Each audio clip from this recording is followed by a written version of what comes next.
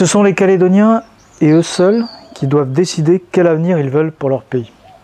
Alors vous savez, nous, ce qu'on veut, c'est que la Calédonie reste dans la République, parce qu'on est intimement convaincu que c'est le meilleur choix possible pour nos familles et nos enfants.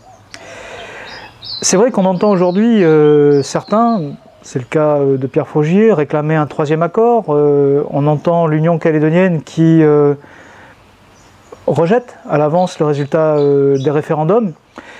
Moi, je voudrais quand même rappeler une chose, c'est que depuis 1998, la vie politique calédonienne est régie par l'accord de Nouméa.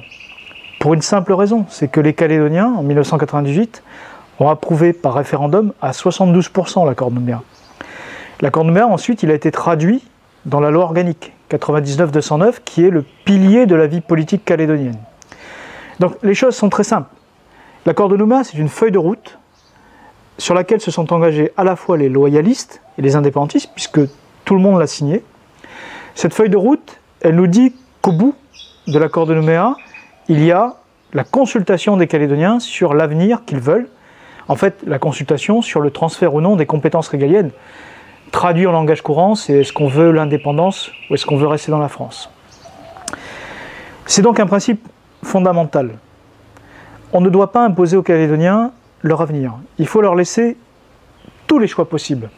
Et la mission euh, des deux experts, messieurs euh, Courcial et Melin Soukramania, l'a bien rappelé.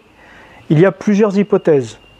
On peut aller plus loin, on peut aller à l'indépendance, ou on peut aujourd'hui stabiliser le statu quo. C'est cette solution qui a notre préférence.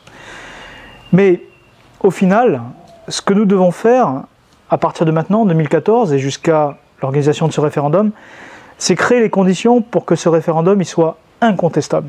Incontestable localement, incontestable au niveau de l'opinion nationale, incontestable auprès de l'ONU. Donc pour ça, nous devons commencer à nous mettre autour de la table pour définir euh, ce que sera le corps électoral référendaire.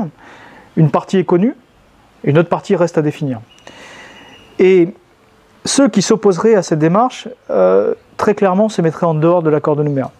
Donc nous, au MRC, nous sommes respectueux de l'accord de Nouméa, nous sommes convaincus que les Calédoniens, à 60%, comme ils l'ont fait aux dernières élections provinciales, décideront de rester dans la France, et donc nous nous battrons pour que les Calédoniens puissent avoir le droit de choisir leur avenir.